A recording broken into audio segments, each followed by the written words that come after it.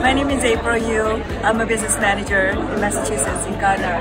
Uh, I really love beautiful uh, Mali's teaching and uh, it's very down to earth, practical. I think we can carry this back to work and make a huge difference in our workplace.